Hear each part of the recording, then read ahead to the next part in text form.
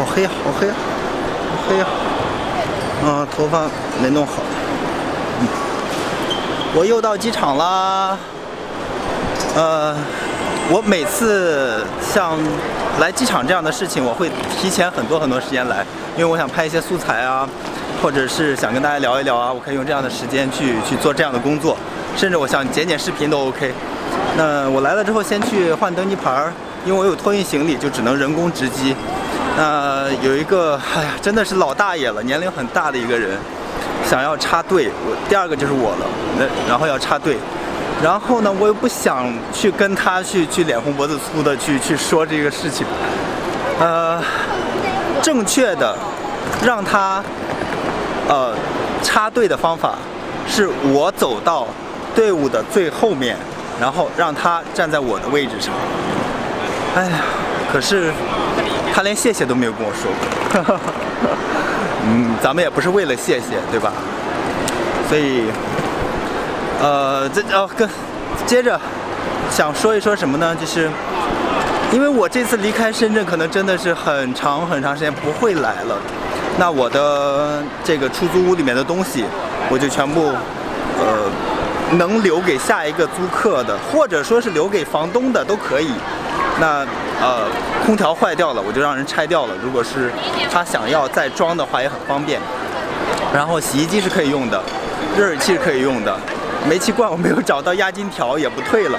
然后床是可以单双人床的那种啊，可以可以变化的那样的。床垫也留给他们了。呃，然后。枕头也留给他们了，基本上他们来了之后，呃，四件套换上就可以用了。呃，尽量尽量留给他们吧，反正我也带不走，然后卖的话也没有多少钱。呃，我只能做到这儿了。有的时候在这样的这样的节骨眼儿，那只能用这样的心态去面对了，因为你换钱是没有立刻能够换钱的方法，那不如就方便下一个人。那其实我也挺享受，不如就方便下一个人这种感觉，就是可能能卖我也不会去考虑卖，啊，我啰嗦太多了。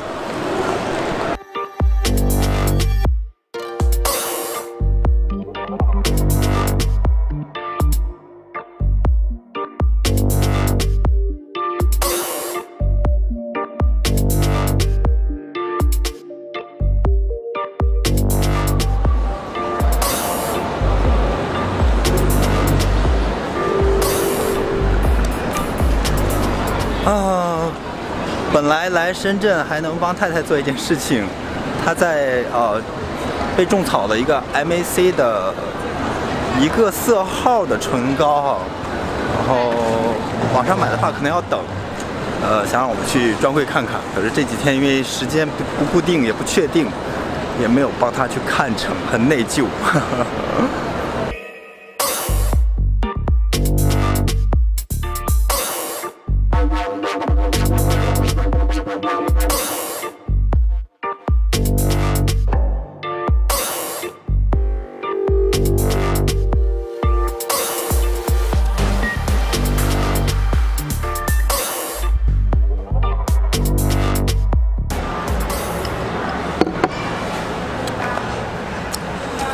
昨天有个客人，嗯，不是客人，其实是，其实是我在做乘务员的时候，他是我的头等舱旅客，当时聊得还挺开心的，因为他在深圳，所以就加了微信，然后后来就是再也没有聊过。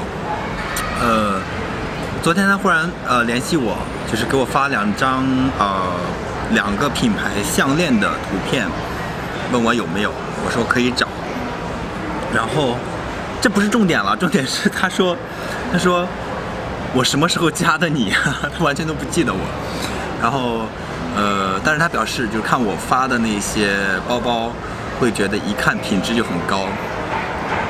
呃，同时也会觉得，呃，可能买贵重物品还是有点担心。那我说，其实信誉第一嘛，就像我之前跟就是所有第一次购买的客人这样说是一样的。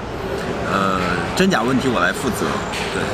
然后呢，我说以后呃发货、收货的地方可能是我自己的家，所以说我跑也跑不掉。坐一会儿。